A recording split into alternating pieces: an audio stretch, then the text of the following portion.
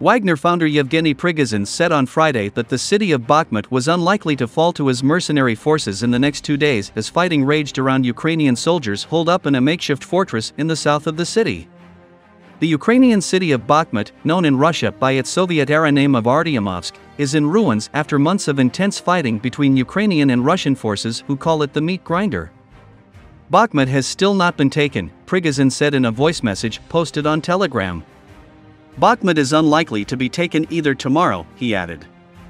Russia has been trying to capture Bakhmut since last summer in the longest and bloodiest battle of the war.